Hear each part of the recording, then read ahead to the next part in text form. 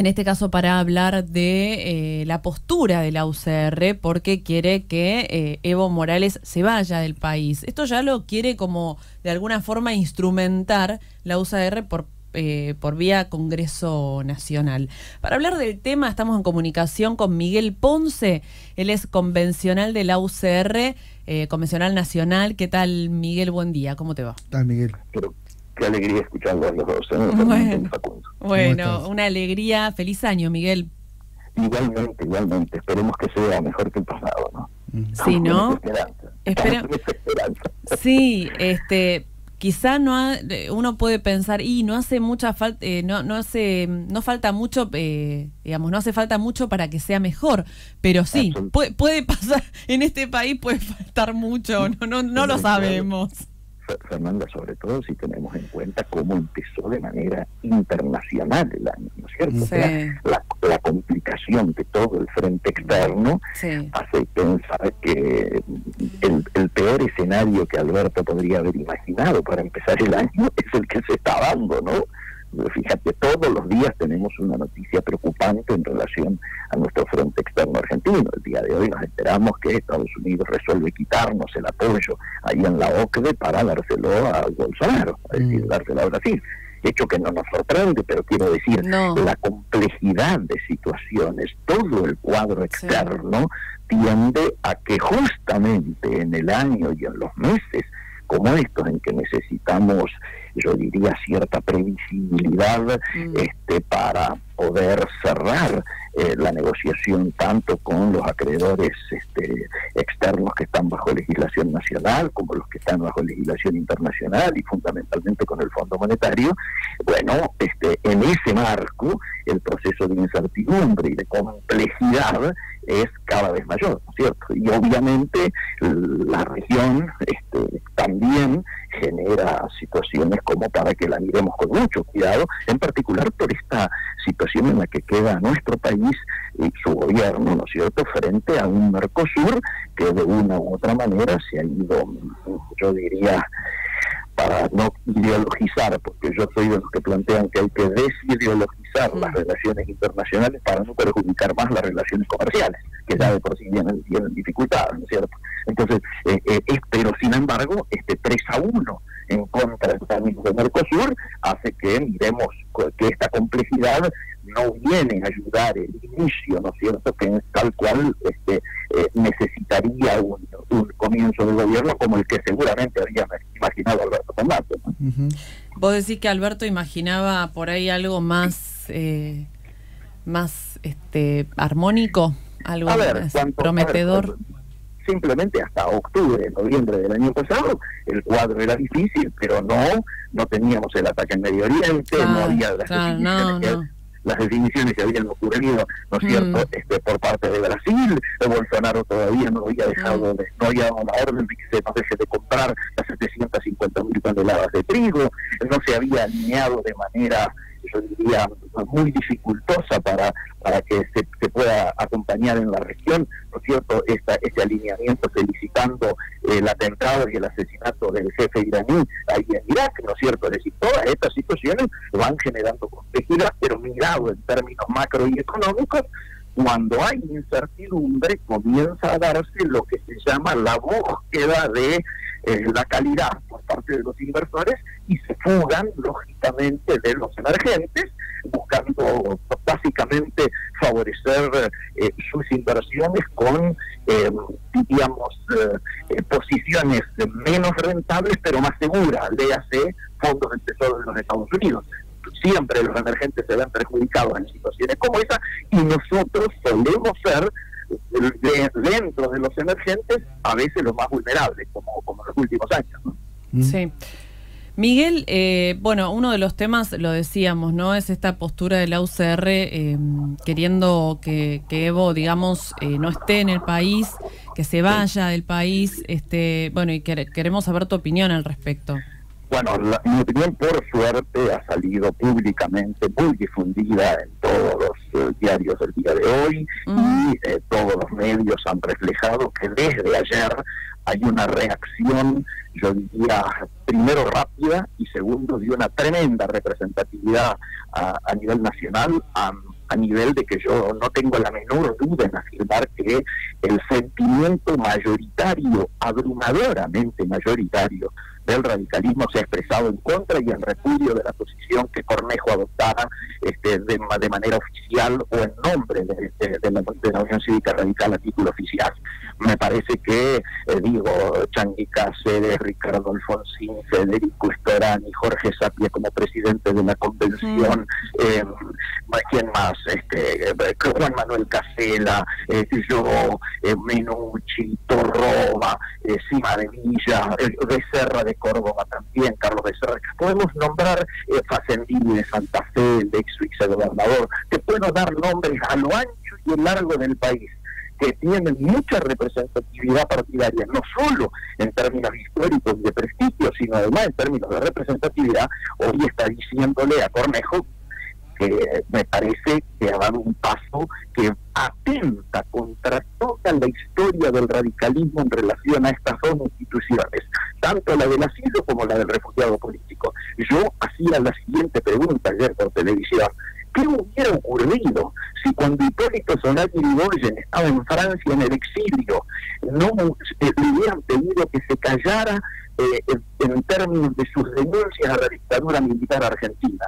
No solo no se cayó, sino que además de expresar sus posiciones, organizamos Ollera. Ollera era la Oficina Internacional de Exiliados Radicales de Argentina a nivel eh, este, internacional, con gente como Adolfo Gas en, este, en, Venezuela, como Picato en México, como Eduardo Zaguer en Estados Unidos, como los amigos que estuvieran en España, algunos de los cuales permanecen allá. Es decir, toda la gente que se, había tenido que exiliar de la Unión Cívica Radical trabajando contra la dictadura militar. De hecho, a través de un diario La República dimos a conocer la primera foto publicada a nivel mundial de la perla ¿eh? en tiempos de, que estaba a cargo de Menéndez allí en Córdoba, un campo de concentración.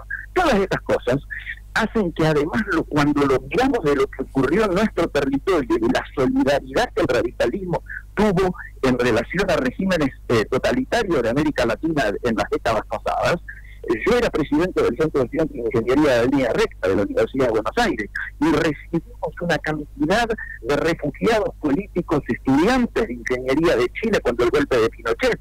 Desde nuestro centro de estudiantes los ayudábamos no solo a que eh, otros compañeros pudieran salir clandestinamente desde Chile y refugiarse en la Argentina, sino que además mandábamos desde nuestro centro de estudiantes y los ayudábamos a los chilenos a que pudieran manifestar públicamente y hacer conocer dentro de Chile las opiniones de repudio al golpe militar y lo que estaba ocurriendo. Ferreira Aldunate, el uruguayo que desde Argentina vino a hacer actos contra lo que era en aquel momento la dictadura que estaba en, Uruguay. Te podría dar cientos de casos. Por lo tanto, esto va absolutamente en contra de la historia de la Unión Cívica Radical y me parece que simplemente tiende, es un paso más en el proceso de seguidismo a la ideología del PRO que las conducciones partidarias han ido teniendo desde Gualeguaychú a la fecha, digo de Gualeguaychú, que es la famosa convención donde se resolvió la alianza este, con, el, con el PRO, que mm. hasta ese momento era un partido vecinal y que gracias a la estructura de la Unión Cívica Radical llegó este, al gobierno este, de la manera en que todos lo conocen. ¿Y cuál será el futuro del radicalismo? ¿Cree que va a seguir dentro de esta alianza Cambiemos? Bueno, no, nosotros vamos por terminado desde hace rato esa alianza. Eh, yo lo dije públicamente en un discurso fue muy difundido en la convención este, de Parque Norte, donde usando una frase que usan los chicos, simplemente repetí lo que venía diciendo hace años, cambiemos ya fue, decía. Hoy por hoy, ¿qué tenemos que hacer nosotros con un partido como el PRO presidido por eh, Patricia Bullrich, que, eh, plantea políticas este, punitivas este, absolutamente antagónicas a nuestra idea de defensa de derechos humanos, ¿no es cierto? ¿Qué tenemos que ver con la bolsonarización de la política que ejercen y, y, llevan como, tienen como abanderado y lo han tenido durante el final de la campaña, ella y Cheto, que cotidianamente nos marca la cancha con posiciones que van siendo cada vez más incompatibles con el pensamiento histórico de la Unión Cívica Radical. Nosotros somos un partido progresista, un partido que ha hecho de la defensa de los derechos humanos por un lado y la causa de los desposeídos por otro, un eje del cual no nos podemos desviar. Buscamos la libertad, pero buscamos la justicia social y buscamos claramente eh, terminar con las diferencias y una grieta que eh, muchos de los que han estado en la conducción partidaria han superfluado, ¿no es cierto?, desde perspectivas exclusivamente personales y que nosotros entendemos que esa grieta no solo no nos ha servido para resolver ninguno de los problemas estructurales que tiene Argentina, sino ni siquiera para empezar a enfrentarnos. Y obviamente estamos mirando con mucho optimismo esto que acaba de ratificar simplemente en el último reportaje el presidente de la Nación, que es la algo que yo vengo reclamando desde que fue elegido Macri, ¿eh? antes de que asumiera el 10 de diciembre del 2015, que yo reclamaba la necesidad de un consejo político, económico y social por ley, y acaba de decir hace 48 horas eh, el presidente Alberto Fernández de que esto va, a ser enviado a, a sesiones extraordinarias ahora en el Parlamento, de manera tal de que un consejo de esta naturaleza que tiene como origen tres proyectos legislativos que estaban durmiendo en el Congreso. Uno de el ex senador Mario Lozada, presidente de la Unión Cívica Radical ya fallecido, otro del propio Federico Storani y un tercero de un socialista, un colega mío, un ingeniero Justiniani de Santa Fe. En base a estos tres proyectos se va a plantear por ley la estructuración de este Consejo Político Económico y Social, que como habrán escuchado ustedes, se lo le ofrecerían la presidencia a Roberto Lavalle. Claro.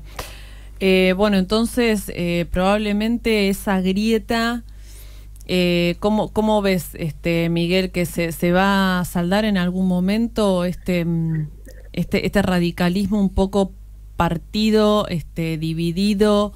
Eh, porque parece que se los ve como bastante alejados unos de otros. si, bien es un partido que, que siempre hace alardes de las internas, que uno piensa siempre cuando hay internas en el radicalismo porque este, hay internas de internas de internas, es como tradición, pero pero bueno, ¿cómo lo ves? Este? Nosotros marchamos claramente a que todo esto que se ha expresado ayer, que ustedes, muchos se sorprendieron de, de que aparecieran las sumatorias de tantos nombres indignados, y que a lo largo y ancho del país se vaya expresando este disconformismo, ¿no cierto?, este hartazgo que hay en relación a lo que ha sido el, accionar de la nomenclatura partidaria, esto va a tener una expresión orgánica, lógicamente, para prepararnos para pelear por el poder partidario y seguramente allá en Villa Gesell, hacia marzo, abril, vamos a estar constituyéndonos eh, todo eh, el radicalismo auténtico en una expresión que seguramente va a ser el primer movimiento a nivel nacional que surge desde las épocas de renovación y cambio a la fecha. Cuando yo entré al radicalismo, el radicalismo había movimientos de líneas nacionales diversas que eh, a nadie le generaban conflictos, sino todo lo contrario, era una muestra de vitalidad. Era un partido que tenía un piso de 35-40% en aquel, en aquel tiempo y Raúl Alfonsín pudo llegar precisamente porque interpretó ese sentir, ¿no es cierto?, de convocar a los peronistas de Perón y Evita, como decía él, a los socialistas de Juan P. Justo y de Palacio, a los demócratas progresistas, etcétera, etcétera, etcétera, y era una manera precisamente de, de mayoritariamente trabajar, en este caso, de un, con un movimiento como fue Renovación y Cambio que se planteó no solo la búsqueda del poder partidario, sino un pie adentro y un pie afuera, trabajando en la sociedad, ganando centros de estudiantes, convocando a los sindicatos, teniendo organizaciones representativas de la juventud, de los trabajadores, de los estudiantes en todos lados. Bueno, así los que nos formamos en Prensa Morada este, tenemos esa escuela y esperamos que nos sirva esta experiencia tan nefasta que han sido estos cuatro últimos años para nunca más volver a quedar pegado a pensamientos de derecha que no tienen nada que ver con nosotros. Vamos a entonces estar atentos a lo que pase en Villa Gesell. No falta mucho, ¿eh? así que te agradecemos, este Miguel. Es una primicia ¿eh? que estamos largando. ¿Sí? Sí, claro, apareció ah. en algún diario de Villajés y luego en alguna página, pero no, no lo habíamos eh, este, planteado ya como un hecho y ahora empezamos a resolver, después del día de ayer, resolver marchar para concluir lo antes posible en una expresión que impida que se den pasos como el que pretendió dar Cornejo ayer. Yo me imagino que en el día de ayer Cornejo ha resuelto este, como suelen decir algunos chicos, se ha, buscado eh, correrse, correr el eje y a última hora de la tarde sacó un brulote contra Mauricio Macri diciendo que Mauricio Macri no maneja espacio, no es líder de nadie, etc. y demás. Me parece que eh, tomando conciencia de la reacción que había originado su eh, definición de la mañana y yo estoy convencido de que esta iniciativa que se ha planteado está destinada absolutamente al fracaso. Quiero creer que los radicales cuando voten en sus expresiones parlamentarias eh, van a tomar en cuenta estos ejemplos que yo traía de, eh, en el caso del radicalismo, de Hipólito Solari Irigoyen y de tantos exiliados argentinos para tomar una definición eh, acorde y coherente con esa, con esa historia. ¿no? Bien, gracias Miguel, un placer como siempre escucharte. No, el placer es mío este, y espero que este año tengamos así una, un vínculo tan fluido como el del año pasado. Sí, eso es... Sí, sí, sí. La verdad que, bueno, este, compartimos eh, también algunos grupos ahí en WhatsApp, así que la verdad que está bueno comunicarse con vos y, ver tus expresiones, aclaran a veces algunas ideas y, por supuesto, además está decirte que es un placer hablar con vos en radio. Gracias. y, con vos también. Fernando, un gran cariño y saludos a Facundo y a todos. Un abrazo grande. Gracias, chao, hasta luego. Ahí estábamos eh, con Miguel Ponce, convencional nacional de la UCR, eh, hablando sobre, bueno, esta expresión un poco representada por Cornejo, sobre, eh, digamos, los deja parados como, como Unión Cívica Radical, mm. este, pidiendo que se vaya del país Evo Morales, pero que en realidad, dice Miguel, eh,